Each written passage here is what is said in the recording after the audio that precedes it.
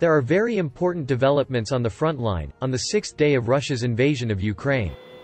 Russian army captured some important strategic regions while trying to advance in occupied Ukraine. The North Atlantic Alliance is taking new military steps after the Russian invasion of Ukraine. The Ukrainian intelligence unit has issued an important announcement regarding Belarus, which has lined up 300 tanks on the Ukrainian border.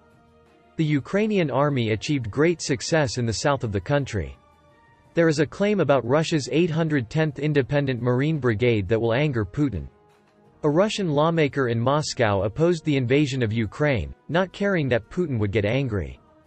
A Pentagon official in the USA shared important information about the Russian occupation troops in Ukraine. Kherson governor gave information about the regions captured by the Russian army, which started to enter the city.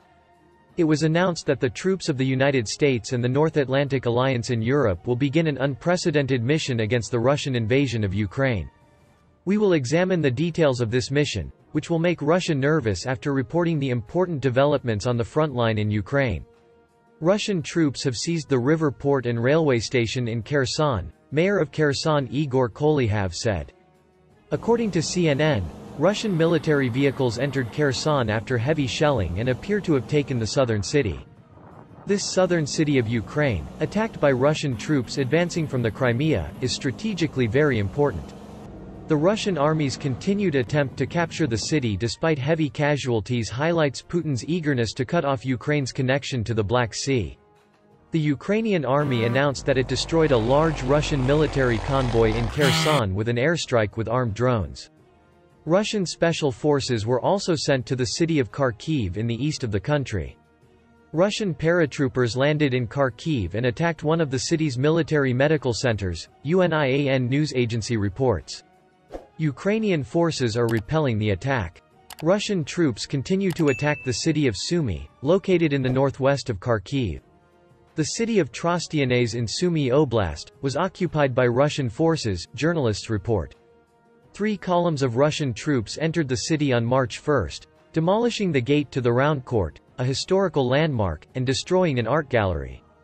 The Ukrainian Air Force continues to inflict heavy blows on the Russian army, as Russia still cannot achieve air superiority. Ukraine's Air Force, along with units of the Army and Territorial Defense, destroyed a large Russian military convoy near the city of Bashtanka in Ukraine's southern Mykolaiv region. Military bloggers reported that the convoy contained up to 800 vehicles. There are allegations that there are soldiers in the Russian army who oppose the occupation of Ukraine. Russian troops in Crimea refuse to take part in Ukraine invasion. The Center for Defense Strategies, citing their sources in the marine personnel in Crimea, says members of Russia's 810th Detached Marine Brigade are in a demoralized state. This type of disintegration in the Russian army may cause Putin to become more authoritarian. Citing an unnamed senior official at the Pentagon, Ukrinform reported that about 80% of the troops Russia has amassed along Ukraine's borders have crossed into Ukraine since the invasion began on Thursday. Earlier, a senior U.S. Department of Defense official told reporters during a briefing that morale has dropped in some Russian troops. The official said acts of vandalism likely included piercing vehicle gas tanks so that soldiers could avoid going into battle. The Russian army continued its missile and air attacks on Ukrainian cities today. It is alleged that the Russian army used high-impact munitions, including thermobaric missiles, in today's bombardments. In addition, the Ukrainian media reports that Russia used the Tu-22 cubic meters strategic bomber in the February 28 bombardment of Kharkiv. It is reported that this aircraft, which can also carry nuclear missiles, fired 16 missiles targeting civilian settlements as if it were in an exercise. The NATO alliance is deploying its Rapid Response Force for the first time ever to bolster its eastern flank in the face of Russia's invasion of Ukraine. In response to Europe's biggest security crisis in decades, NATO Secretary-General Jens Stoltenberg said, We are now deploying the NATO response force for the first time in a collective defense context. We speak about thousands of troops. We speak about air and maritime capabilities. The 40,000 troops strong NATO response force is designed to be ready 365 days a year to respond within two or three days when a security crisis emerges. There must be no space for miscalculation or misunderstanding. We will do what it takes to protect and defend every ally, and every inch of NATO territory, Stoltenberg said. Parts of a spearhead unit known in NATO jargon as the Very High Readiness Joint Task Force, which is currently led by France, will also be sent. Its main brigade of about 5,000 troops now consists of a joint Franco-German unit based in Lille, France with contributions from Spain, Portugal, and Poland. The announcement came after NATO members, ranging from Russia's neighbor Estonia in the north down around the west of conflict hit Ukraine to Bulgaria on the Black Sea coast, triggered urgent consultations Thursday about their security amid concerns from the invasion. The Pentagon says thousands of U.S. troops are on standby to Europe. Biden told Americans not to worry about nuclear war amid Putin tensions.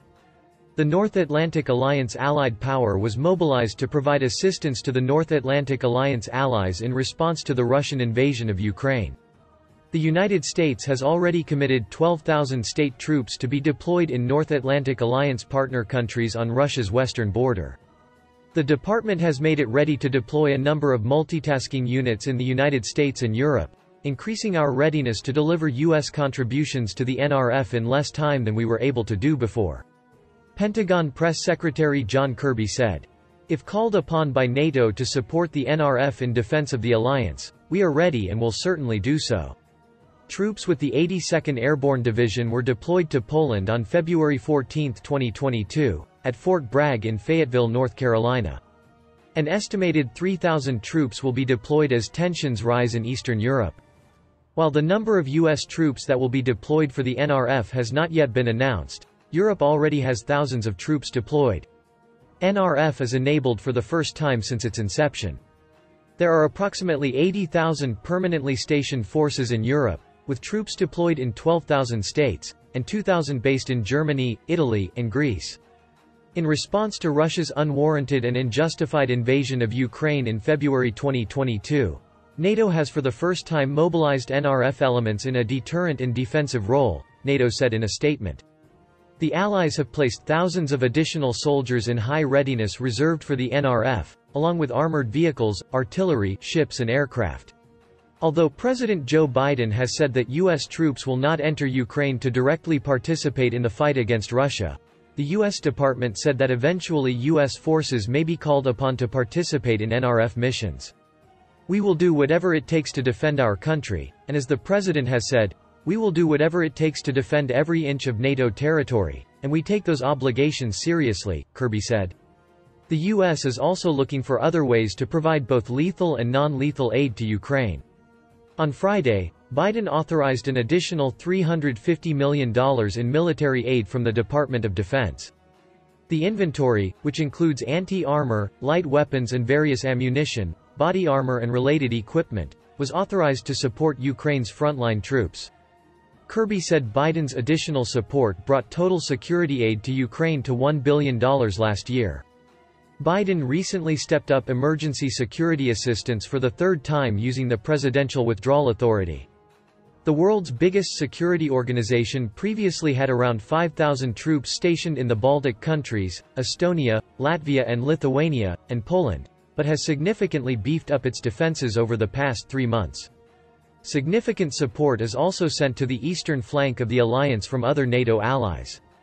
Germany said Friday that it plans to deploy troops and a Patriot anti-missile system to Slovakia, which is a member of NATO and one of the countries to have triggered the urgent consultations, as part of an enhanced vigilance activity battle group.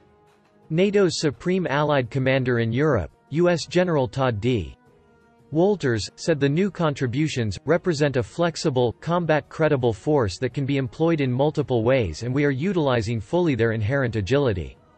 NATO began beefing up its defenses in northeastern Europe after Russia annexed Ukraine's Crimean Peninsula in 2014.